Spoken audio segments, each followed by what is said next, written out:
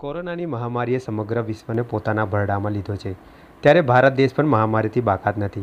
તો બીજી તરફ ગરમીએ પોતાનો રૌદ્ર સ્વરૂપ ધારણ કર્યું છે.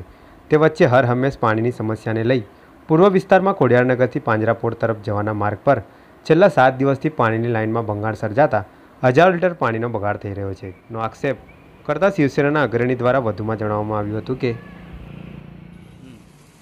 કહેવાતી અને કાગળ પરની સ્માર્ટ સિટી વડોદરાનો પૂર્વ વિસ્તાર, અદેખાઈ અને કોર્પોરેશનનો અન્યાય સહન કરતો આ પૂર્વ વિસ્તાર ખોડિયારનગરથી પાંજરાપોળ જવાના રસ્તા ઉપર અનન્યા હાઇટ્સ પીડાવુડાના મકાન પાસેનો વિસ્તાર છે.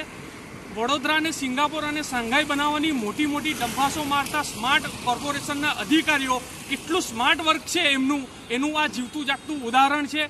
એક તરફ પૂર્વ વિસ્તારમાં દૂષિત પાણીની સમસ્યા છે, પૂરતા પ્રેશરથી પાણી નહીં મળતું વારે ઘડીએ અને છાશ વારે પીવાના પાણીની લાઈન લીકેજ થાય છે, જેના કારણે લાખો લીટર પાણી વગર કારણનું જે પૂર્વ વિસ્તારના લોકોને ઉપયોગમાં આવી શકતું હતું, એનો બગાડ થઈ રહ્યો છે. અને બીજી તરફ અહીંયા અનન્ય હાઇટ્સ પાસે સાત દિવસથી પીવાના પાણીની લાઈન લીકેજ છે.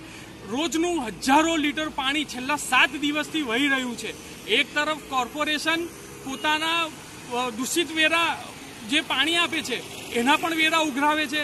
તો શું હવે ખરેખર વડોદરાના મેયર મેયર અને વડોદરાના મ્યુનિસિપલ કમિશનર કે સ્ટેન્ડિંગ કમિટીના ચેરમેન આવા જે અનગઢ વહીવટ કરતા અધિકારીઓ છે, એમની સામે કોઈ પગલાં લેશે?